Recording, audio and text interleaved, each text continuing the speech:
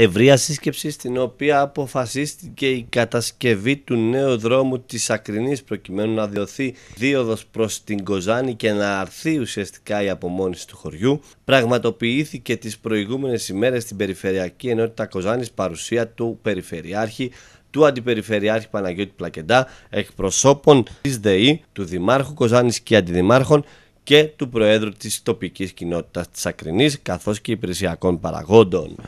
Στη συνάντηση αυτή οριοθετήθηκαν οι ενέργειες όλων των πλευρών προκειμένου να προχωρήσουν οι υπόλοιπες διαδικασίες.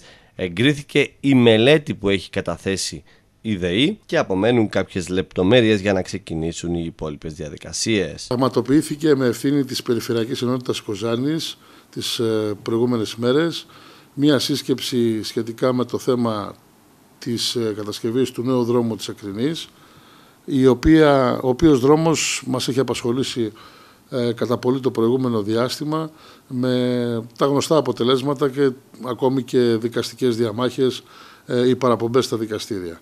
Στη σύσκεψη αυτή συμμετείχε η περιφέρεια του Περιφερειάρχη, του Αντιπεριφερειάρχη των Υπηρεσιών, ο Δήμος Κοζάνης δια του Δημάρχου του κ. Ιωαννίδη και των Αντιδημάρχων του κ. Δεσποτίδη και κ. Πτακίδη, ο πρόεδρος της τοπικής κοινότητας Ακρινής και εκπρόσωποι της ΔΕΗ, ο κύριος Ιωακήμ και ο κύριος Παλαβός, προκειμένου να οριοθετήσουμε τις ενέργειες που πρέπει να γίνουν το αμέσως επόμενο διάστημα ώστε να ξεκινήσει η κατασκευή του δρόμου.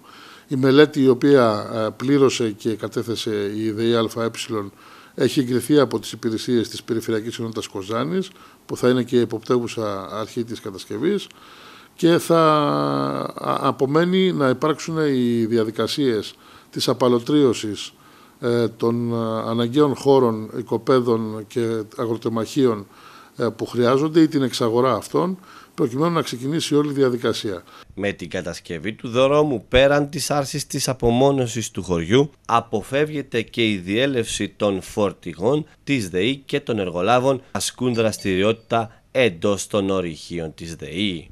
Ε, θα έχουμε μία συνάντηση προς το τέλος του μήνα για να δούμε πού ακριβώς ε, έχουν φτάσει οι εργασίες και ο καθένας έχει αναλάβει τις απαραίτητες ενέργειες που χρειάζεται να κάνει προκειμένου να λυθεί ένα σοβαρό πρόβλημα που έχει φέρει σε απομόνωση την ε, τοπική κοινότητα της Ακρινής.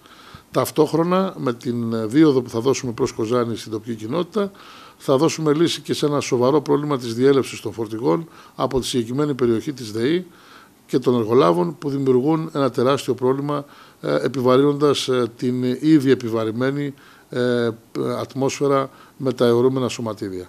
Ε, νομίζουμε ότι είμαστε σε έναν καλό δρόμο και από εκεί και ύστερα το επόμενο, επόμενο διάστημα θα διαπιστώσουμε την πορεία των εργασιών.